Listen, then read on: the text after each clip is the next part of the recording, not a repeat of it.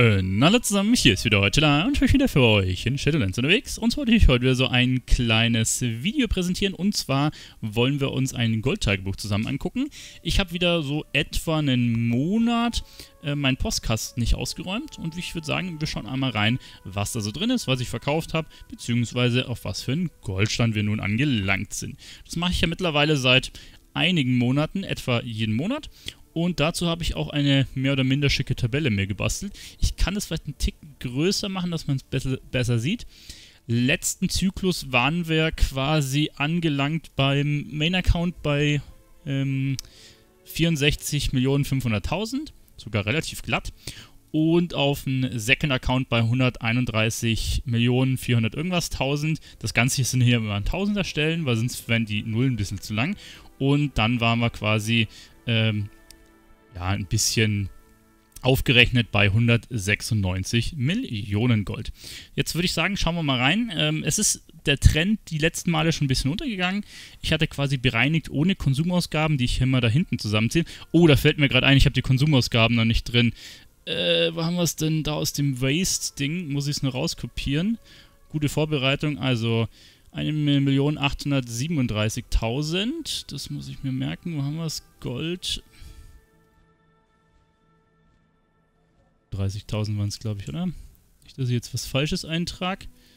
Äh, ja, 37, genau. Also das sind die Konsumausgaben. Das sollte ich natürlich hier mit in die Tabelle mit reinnehmen. Und zwar sind das immer Ausgaben, wo ich halt einfach nichts ausgebe, um mehr Gold zu verdienen, sondern Ausgaben, wo ich jetzt zum Beispiel Timor kaufe, wo ich was äh, fürs Collecten, für Berufe kaufe und solche Geschichten. Ne? Und die versuche ich mal rauszurechnen, um einfach zu sehen, okay, was habe ich an Gold Plus gemacht und was habe ich an Gold Plus gemacht mit äh, wirklich, ähm, also ja, quasi ohne die Konsumausgaben, die ja eigentlich nichts mit dem Goldmaking zu tun haben. Weil in dem einen Monat gebe ich nichts aus und im anderen Monat kaufe ich mir halt irgendwas Teures für 2, 3 Millionen und dann hätte das, gibt es halt ein bisschen falsche Zahlen. Genau. Die letzten Male ähm, hatten wir ja, ich glaube, die 40 Millionen, die waren ja bei dem ersten Monat von Patch 9.2, dann 35 waren beim zweiten Monat und das quasi der dritte Monat. Und ich vermute, dass es jetzt halt ziemlich runterdroppt.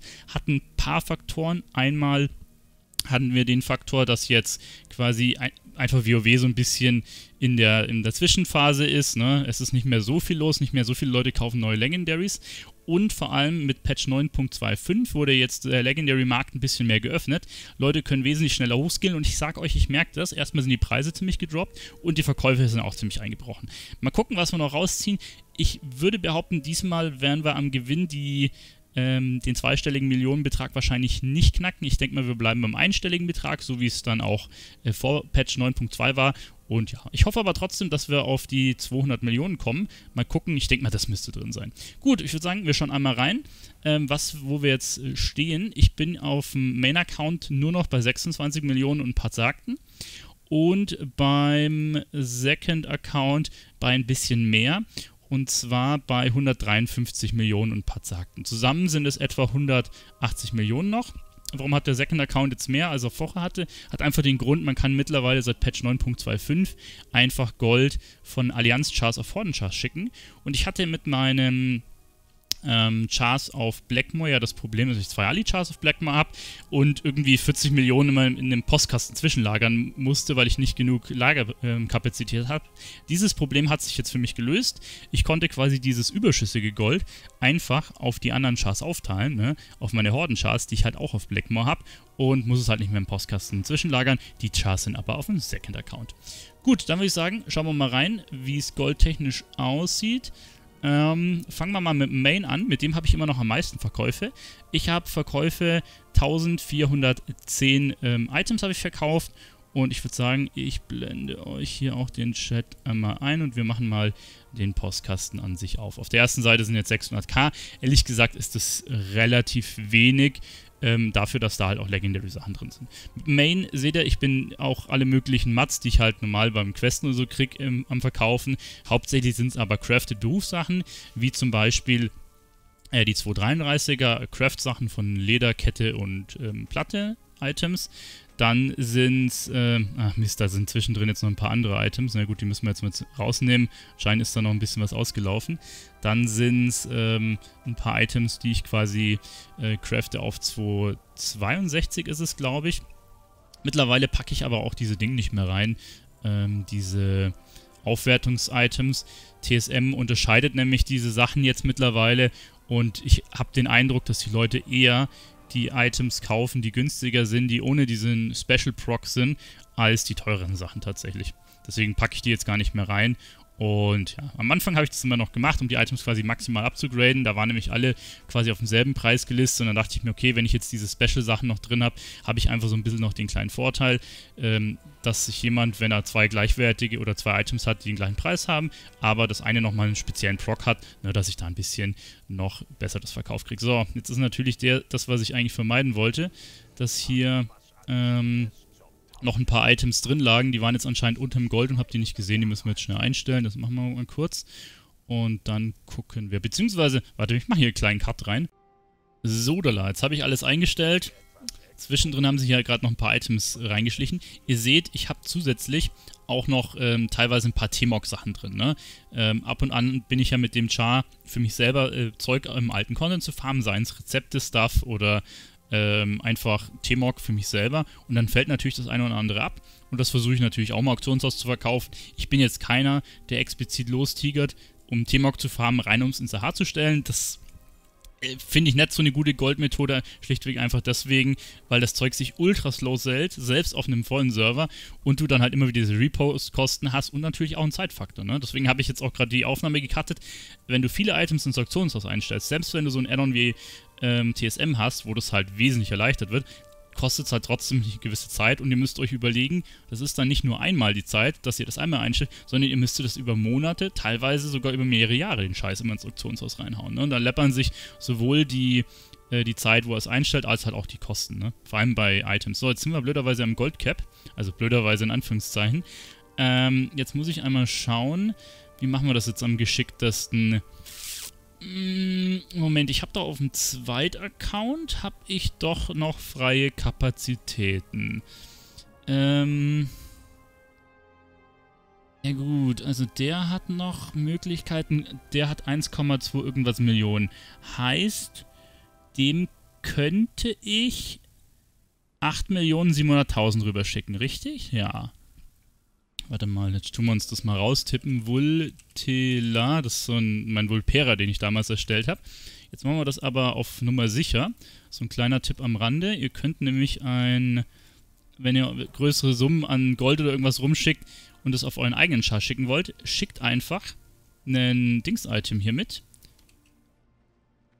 ähm, einfach ein Heirloom-Item. Das könnt ihr nämlich nur auf euren eigenen Char schicken und easy ist es. Also 8.700.000 schicken wir jetzt hier mal rüber. Das müsstet ihr rausnehmen können und dann haben wir nämlich hier wieder ein bisschen freie Kapazitäten. Würde ich sagen, ähm, log ich vielleicht gleich mal auf dem einen um, dass ich das nicht vergesse, dass wir das Gold da auch drin haben. Und dann kann ich euch hier noch ein paar Sachen zeigen. Was ich natürlich auch noch verkaufe, ne, neben den 233ern, beziehungsweise den 2 ähm, 62er Craft-Sachen natürlich alle möglichen Legendaries, ne? Und da gehört ja ähm, die Leder-Items dazu, die Ketten-Items und die Platten-Items. Ähm, ich also ich baue nicht mehr Rang 1, 2, 3, ich baue eigentlich Rang 4, 5, 6 und 7 baue ich, ne? Die ganz lauen Ränge, die sind eigentlich nicht in der Gewinnzone. Und was ich dafür nutze, ist halt hauptsächlich hier ein Addon, das heißt Legendary Stock Tracker. Und da kannst du halt so ein bisschen gucken, okay, welche Sachen habe ich noch im Auktionshaus drin und ähm, welche Sachen sind quasi auch in der Profitmarge. Ne? Dann kann ich halt jetzt hier beim Auffüllen einfach ein bisschen durchklicken und dann sehe ich, okay, diese ganzen Items ähm, fehlen mir quasi und die haben auch einen positiven Profit. Ne? Da braucht man natürlich dann ähm, wiederum andere Add-ons, wie zum Beispiel TSM, die natürlich die Daten erheben. Also dieses äh, Legendary Stock Tracker zieht die Daten von TSM und unter anderem hat ja TSM um sinnig nutzen zu können, ja auch hier so eine Desktop-App, ne, die nennt sich Trade Skill Master Application. Und da muss man halt seine Server eintragen und dann scannt quasi diese App, diese Ser oder ähm, zieht die Daten von der Datenbank von ähm, TSM runter und da muss man selber nicht das Auktionshaus scannen. Genau, das ist ganz angenehm. Ja, das sind so die Möglichkeiten, die ihr habt. Mit dem Add-on ist es wesentlich einfacher. Ähm, man muss aber halt dazu sagen, aktuell, wie gesagt, können halt seit Patch 9.25 die Legendaries easier hochgeskillt werden und dementsprechend sind halt einfach mehr Akteure im Markt, das drückt den Preis und dann natürlich auch die Gewinnspannen. Ne? Also ich kann euch das jetzt vielleicht hier mal kurz zeigen. ähm, es ist ja so, dass man hier vier Ränge hat, ne? Und man muss dementsprechend, um einen Rang aufsteigen zu können, ähm, das Item einmal, äh, also ne, von Rang 1 auf Rang 2 die Sachen einfach craften. Davor waren es, glaube ich, 15 Mal musste man sie craften. Jede, jedes Item, das man hochgekommen ist. Und jetzt geht es fünfmal so schnell. Also musst du, glaube ich, jedes nur noch dreimal craften. Und das zieht natürlich die Preise einfach äh, extrem runter, die man äh, ähm, ne, investieren muss, um halt einen Rang hochzuskillen. Ne? Du hast jetzt halt nur noch ein Fünftel der Kosten. Ja? Zusätzlich ist es so, dass die Mats hier extrem teuer, äh, günstig geworden sind. Ihr seht, der schwere Hornbike hier auf dem Server kostet 3 Gold und der verzauberte kostet 46. Ich habe am Anfang der Expansion den schweren Hornbike für über 1000 Gold gekauft und den verzauberten für 2,5 oder so, ne? Und das in Massen und habe damit geskillt. Und jetzt, ne, mit den verringerten Kosten plus äh, quasi dann noch äh, ewig billigen Mats kannst du das Zeug easy hochskillen. Also wahrscheinlich brauchst du nicht mal eine mehr eine Million, um das ganze Zeug zu skillen. Vermute ich jetzt einfach mal. Was man natürlich trotzdem noch machen muss, ne, was mir jetzt beim, äh, bei den Twinks auch ein bisschen ähm, sauer aufstößt, man muss natürlich die Upgrade-Materialien noch farmen, ne? Und dafür müsst ihr halt relativ viel questen, ne? Sowohl für das Rudiment aus Cortia, dafür müsst ihr halt ähm, die Kampagne von dem Pakt komplett abschließen und dann in Cortia äh, die Kampagne noch bis auf ähm, Stufe 4 spielen. Und für das Rudiment müsst ihr halt in ähm, Terra Mortis die Kampagne ein gewisses Stück weit spielen. Also das bleibt euch halt dann leider nicht aus. Ne? Das müsst ihr dann mit den Chars machen. Wenn ihr es natürlich auf einem Char macht, wo ihr eh da gequestet habt, ist es kein Stress. Wenn ihr es von Quink macht, wie ich das bei dem einen oder anderen Char mache, ist es ein bisschen blöd. Ähm, gut, okay, das war es jetzt soweit. Wir haben Postkasten ausgeleert. Jetzt haben wir hier nochmal 8,5 Millionen. Da hatten wir ja vorher auf den anderen ähm, ein bisschen was rübergeschickt. Ich würde sagen, ich logge jetzt gleich mal mit dem um und zwar hier auf Blackmore, dass ich das Gold schon mal raushol. Und dann sehen wir uns dann halt gleich auf dem nächsten Char wieder. Gut, auf dem Hordenchar habe ich das Gold rausgenommen. Äh, jetzt bin ich aber erstmal noch weiter gelockt auf dem Hexer, hier auf dem Man-Account. Da habe ich noch einen Char auf Lothar, wo ich aktuell ja viele Berufssachen am Leveln bin oder war. Und ja, da bin ich auch einige Dungeons gelaufen. Mit dem Char verkaufe ich halt hauptsächlich äh, den ganzen Restmüll, der quasi übrig geblieben ist. Sowohl natürlich T-Mox-Sachen, die ich in den Runs gelaufen habe, aber auch Mats, die jetzt vom Beruf, im Beruf-Leveln übrig geblieben sind, beziehungsweise teilweise stelle ich auch Sachen her beim Beruf-Leveln, ähm, die dementsprechend dann im Auktionshaus verkauft werden können. Da war zum Beispiel jetzt hier gerade Saroniterz dabei, das hatte ich dann noch über, ne, bringt einfach mal 30k da, ein paar hundert Saroniterz oder hier Osmoniterz war da noch über, das sind die größeren Punkte, hier Leysteinerz, ne, das sind die Sachen, die dann am Ende noch über waren oder alle möglichen Mats, ne, ähm, die hier noch am Start sind, sind aber auch teilweise minimale Beträge, ne, die da rauskommen. Aber so Kleinvieh ähm, summiert sich tatsächlich auch an. Hier haben wir irgendeinen so unboxsamen Trank verkauft, keine Ahnung, was das ist, ehrlich gesagt. Da habe ich, glaube ich, Alchemie ein bisschen gelevelt. Gut, dass wir den für 4K verkauft haben. Not bad irgendeine Schattengarnhose. Ein paar Sachen verkaufe ich mit dem auch gecraftet. Ich habe mit dem nämlich ähm, Schneiderei auf Max und ähm, ja, das ist zwar ein Low-Pop-Server, ne, wo jetzt nicht so krass viel geht, aber immerhin ähm, ein paar so Schneidersachen verkaufst und da sind die Preise auch höher. Ne? Das sind 233er Items und die verkaufe ich hier für 7k. Da verkaufe ich zwar nicht viele und ich tue die auch nicht reposten. Teilweise lasse ich die auch drei, vier Tage im Postkasten liegen, weil das kein Char ist, mit dem ich aktiv viel mache. Aber ab und an haue ich sie rein und es wird immer mal wieder was verkauft. Ne? Das sind jetzt 600k. Dafür, dass es eigentlich hauptsächlich nur Ramsch ist, ist okay, kann man mitnehmen. Ne? Ist jetzt aber wie gesagt nicht das große Gold. Gut, ich glaube, das war es eigentlich schon auf dem Main-Account mit Stuff, das ich rausnehmen konnte. Ich würde sagen, jetzt können wir das gleich schon mal eintragen. Ähm, gut, die 8,7 Millionen hatten wir auf den Second-Account rübergeschickt, heißt, hier ist jetzt nicht sonderlich viel drin. Wir sind jetzt bei 27 Millionen 951.000. Äh, 27 Millionen 951. Dann machen wir jetzt hier ähm, 80, 81, 82, 83 müsste es eigentlich mal hier umbenennen. Ne? Das waren eigentlich ursprünglich die Wochen, weil am Anfang habe ich das im Zwei-Wochen-Rhythmus gemacht und mittlerweile habe ich das ein bisschen umgestellt.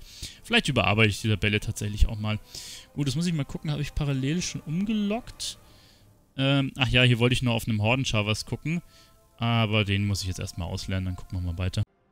Gut, dann machen wir mit dem zweiten Account weiter. Und zwar bin ich jetzt als erstes auf meinem Char hier ähm, auf Antonidas und das ist quasi so mein Restposten Ramschar. Ihr seht ja halt nicht sonderlich viel verkauft, 62 ähm, verschiedene Sachen hat er vertickt und das ist halt alles irgendein Ramsch, ne? Von irgendwelchen Mats, die noch über waren, über irgendeinen T-Mog, was ich teilweise hier noch rumliegen habe. Ich weiß gar nicht, ob hier das T-Mog-Item, hier ein bisschen Stoff habe ich verkauft, Kettenstulpen, was ist das hier? Das muss auch irgendein T-Mog sein. Unsterbliche Kämpfe des Feuersturms. Ja, Hört sich irgendwie ein bisschen nach Inselexpedition an ich hier verkauft habe. Ihr seht also, ab und an es verkauft sich schon T-Mog, ne? Also ich bin jetzt keiner, der sagt, T-Mog verkauft sich gar nicht. Das, äh, da geht schon was weg, aber das geht halt nicht schnell weg, ne? Das ist halt immer das Problem. Gut, das können wir nochmal hier raushauen.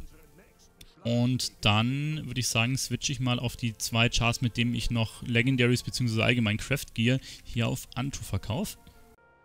Gut, dann sind wir jetzt auf den nächsten Char gelockt. Einmal auf meinen Hunter. Ihr seht, da ist auch schon ein bisschen was im Postkasten drin. Nur in Anführungszeichen 600 Verkäufe. Also da merke ich es halt relativ stark. Mit dem habe ich eigentlich immer schon an die 1000 gehabt, wenn nicht sogar mehr. Und auch größere Beträge, da sind jetzt 100 Mails. Ne, auf der Seite sind jetzt 900.000. Das ist jetzt auch nicht so viel, ehrlich gesagt. Äh, mit dem Char habe ich einmal Juve und Lederer. Verkaufe auch die 233er Items. Die 262er Teile sowohl halt Ringe, Hälse und halt alle Leder- bzw. Kettensachen. Und dann natürlich selbiges auch nochmal mit äh, Legendaries. Äh, ihr seht, hier gehen hauptsächlich ähm, die loweren Sachen weg. Legendaries sind vereinzelt hier mit drin, aber jetzt nicht mehr die Masse tatsächlich.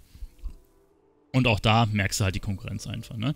Was ich mittlerweile so ein bisschen am Überlegen bin, ob ich einen Ticken umsattel. Ich hatte ja vorhin erwähnt, dass TSM mittlerweile erkennt, ob du so ein Special Gear drin hast. Und zwar ähm, gibt es ja da nicht nur Items, die den Damage erhöhen, sondern bei dem Special Gear gibt es halt auch die Möglichkeit, sich Sachen reinzubasteln, wo man dementsprechend ähm, mehr Movement Speed hat und auch mehr Ride Speed. Da kannst du deinen Movement Speed, glaube ich, um 70, 80 Prozent oder so hochbasteln, wenn du es halt auf jedem Item drauf bastelst. Ne? Also kannst du ja, äh, wenn man jetzt vom Charakter-Window schaut, du kannst ja quasi mit jetzt, ne, bei dem Hunter zum Beispiel, ähm, die kompletten Kettenslots Ne? Kannst du ja mit dem Lederer craften zum Beispiel. Ringe kannst du mit dem Juve bauen, Hals kannst du auch mit dem Juve bauen. Ähm, den Umhang kannst du mit dem ähm, Schneider, glaube ich, bauen. Also du kannst fast alle Slots plus Movement Speed draufhauen. Ähm, sogar mit einem Alchi kannst du plus Movement Speed auf das Trinket basteln. Dann wäre halt eigentlich nur ein Trinket und die Waffe frei, wo du halt dementsprechend dir kein Speed Gear anziehen kannst. Also da gibt es schon Möglichkeiten, muss ich aber halt noch ein bisschen gucken, wie sich das zum einen verkauft, ob, das, ob da wirklich was weggeht und was ich halt noch das Problem habe, ich kann das leider nicht einzeln tracken, wie viel ich von diesen Items habe. Ne? Da müsste ich die einzeln angucken, habe ich jetzt noch Movement Speed Gear oder habe ich die normalen Sachen, weil ähm, im Interface zeigt es das leider nicht an. Ich kann jetzt mal euch zeigen, was ich zum Beispiel meine. Also wenn ich jetzt hier reingehe und ähm, dann zum Beispiel hier bei den Items drüber fahre, ne? dann ähm, bastle ich mir jetzt halt mal so ein Rang 4 äh, Item rein und dann sehe ich, aha, ich habe im Auktionshaus 8 von diesen Teilen. Das, äh, unterscheidet es aber nicht, ob ich jetzt äh, hier dieses Item drin habe. Seht ihr, es sind immer noch acht Teile. Also wenn ich diese Zusatzdinger hier reinbastel, dann unterscheidet es das nicht. Und das ist ein bisschen blöd, ehrlich gesagt, weil ich will vielleicht zehn normale Teile drin haben und fünf von den Speed-Dingern. Und dann sehe ich nicht, was habe ich jetzt verkauft? Habe ich jetzt die Speed-Dinger verkauft oder die normalen? Und deswegen craft ich es tatsächlich jetzt noch nicht, weil sonst müsste ich dann ähm, reingehen bei meinen Auktionen und das sind doch ein paar mehr und das manuell überprüfen und daran scheitert es ehrlich gesagt. Also wenn ich jetzt hier zum Beispiel reingucke und die Sachen hier manuell überprüfen müsste, also das sind schon ziemlich viel Stuff. Man könnte jetzt mal hier gucken, wie viele Items drin habe. 668 und ja, bei anderen Charts sind es teilweise noch mehr. Das ist unschön, sagen wir es mal so. Gut, jetzt gucken wir mal. Ich glaube, ich bin wieder am Goldcap mit dem hier. Ja, also wir müssten noch ein bisschen was wegschicken.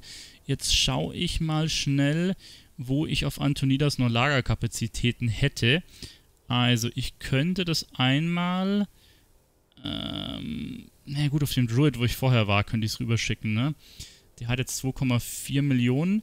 Was ziehe ich denn jetzt hier aus dem Postkasten raus? Also hier auf der Seite sind noch 1,2, wahrscheinlich 2, vielleicht zweieinhalb. Schicken wir mal 3 Millionen rüber, dann sind wir auf der sicheren Seite. Mehr dürfte da jetzt nicht drin sein. Machen wir das schon mal hier raus halt nichts. Oh, habe ich jetzt zurückgemacht?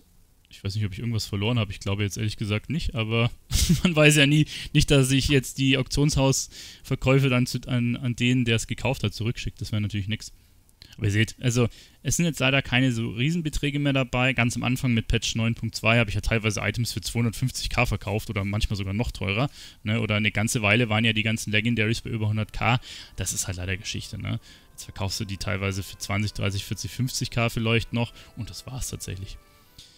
So, haben wir das noch alles ins Inventar gekriegt? Okay, 500. Ja, ich habe gesagt 250k, ne? war jetzt etwa so. Gut, 300k habe ich weggeschickt, äh, 3 Millionen habe ich weggeschickt. Passt. 2,5 Millionen meinte ich natürlich, 3 Millionen habe ich weggeschickt. Okay, dann schauen wir mal weiter noch zu meinem Monk. Mit dem verkaufe ich nämlich auch noch ein bisschen was. Gut, dann haben wir den letzten Char und zwar einmal hier meinen Monk. Jetzt muss ich mal gucken, was hat der. Ja gut, der hat 3 Millionen quasi im Briefkasten oder im Inventar frei. Und im Briefkasten haben wir jetzt relativ wenig Sales, nur 447. Ist jetzt ehrlich gesagt nicht so viel. Eine Million auf einer Seite. Mal gucken. Ne? Wahrscheinlich muss ich zwischendrin wieder ein bisschen was wegschicken. Ähm, auch bei dem bin ich halt ähm, die 233er Items am Verkaufen, 262er und halt die Legendary Ranks von 4 bis 7 hoch und das einmal mit Schneider und Schmied. Also ich habe quasi ähm, auf Antonidas sowohl einen Schnie Schmied, einen Lederer, einen Schneider und einen Juve. Also deckt quasi die ganzen Craft-Berufe ab, ne? Auf ähm, Blackmore habe ich halt in Anführungszeichen nur den Main, wo ich Sachen craft und das ist halt Lederer und ähm, Schmiedekunst. Da könnte ich mir theoretisch noch die anderen beiden Berufe auch holen. Ich habe, könnte das ja jetzt auch mit den Horden-Chars machen, aber weiß nicht, ob sich das jetzt am Ende der Expansion noch reicht oder rentiert. Die Geschichte ist halt auch immer, ne, ähm, reposten, einstellen, craften ist halt auch immer ein Zeitinvestment, ne. Ist die Frage, ob sich das wirklich rentiert, mehr Chars noch ranzuholen, dann müsste ich da halt noch mehr Zeit rein investieren. Ich versuche es halt relativ minimal zu halten. Ich bin keiner, der hauptsächlich Gold macht, sondern das mache ich eigentlich relativ nebenbei tatsächlich. Und ja, dafür ist es auch eine gute Methode tatsächlich. Gut, jetzt müssen wir mal gucken. Wie sieht's aus? Ah ja gut, wir sind gleich wieder am Cap. Jetzt muss ich mal schauen. Wir haben dann noch 100 Maze drin. Ja, schicke ich jetzt auch nochmal 3 Millionen auf den anderen rüber. Ich hoffe, der hat dann noch genug Space. Was, was hat denn der? Der hat 2,4. 3 habe ich rübergeschickt. Zum 5,4 nochmal 3. Äh, 5, 6, 7, 8. Ja, gut, das passt. Das passt. Dann können wir nachher auf den nochmal loggen und gucken, ähm, dass wir das rausnehmen, dass es dann halt quasi auch im Add-on richtig angezeigt wird. Aber auch hier, ne? Das sind ziemlich viele Kleinbeträge. Tatsächlich ist Schmiedekunst halbwegs gut noch, ne? Die Schneidersachen, die kannst du eigentlich eher vergessen. Also die normalen ähm, Items, nicht die Legendaries. Aber die Schmiedekunst-Sachen, da ist immer noch eine gewisse äh, Gewinnmarge tatsächlich dabei. Ich weiß nicht, Schneider ist eh schon immer so das Schlechteste, was du machen kannst tatsächlich. Sowohl im Legendary-Markt als auch ähm, für den normalen Gear-Stuff weil das halt einfach, ja, weiß ich nicht, einfach, nicht so viel abwirft. Da sind die Stoffsachen eh schon relativ günstig und dann sind die Maha auch sehr günstig und die Gewinnmargen sind einfach relativ klein. Jetzt gucken wir mal, ah, das müsste knapp noch alles reingehen ins Inventar. Müssen wir nicht noch was wegschicken? Wunderbar. So, gut, okay, haben wir alles raus. Dann log ich jetzt noch einmal auf den Druid, nehmen wir das Gold raus und dann gucken wir, was wir am Ende äh, an Gold gemacht haben.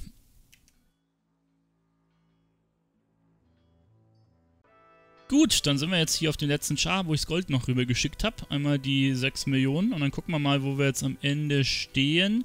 Wir sind jetzt hier bei 175 Millionen 531.